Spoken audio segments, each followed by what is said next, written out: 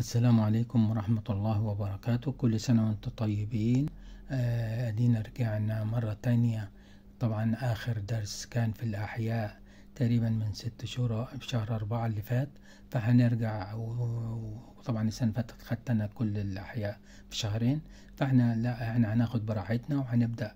طبعا ال- الدرس النهاردة كله عبارة عن مقدمة عامة عن الخلية في النبات اللي هي الوحدة الأساسية للنبات. ونتكلم فيها بس قبل ما ندخل في الأحياء اللي هو البيولوجي. طبعا الدرس كله لتالتة ثانوي علمي علوم. تابعونا كل أسبوع إن شاء الله هيكون في درس أو درسين حسب الظروف بحيث إن شاء الله نمشي بمهلنا خطوة خطوة ونحاول نخلص.